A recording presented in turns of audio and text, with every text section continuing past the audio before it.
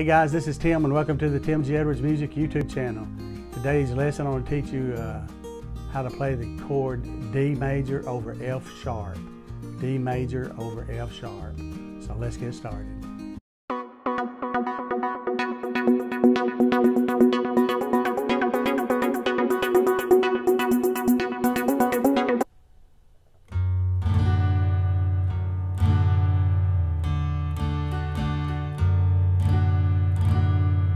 So that's the sound of D major over F sharp.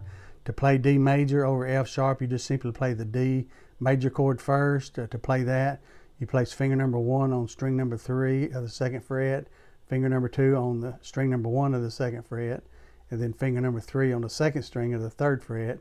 And then you just kind of wrap your thumb around this uh, very top E string here on the second fret. It doesn't take much pressure to, to make that sound out, as you can see there okay?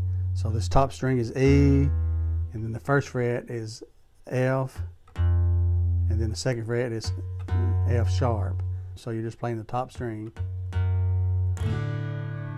So it sounds like this. And typically that uh, chord is used to walk up to uh, G major from D to G major. And if you look at my uh, one of my other videos, I'll show you how to do that chord progression.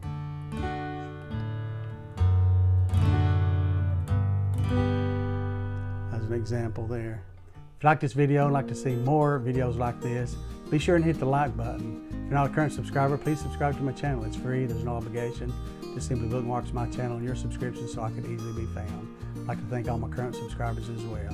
Have a great day. God bless you.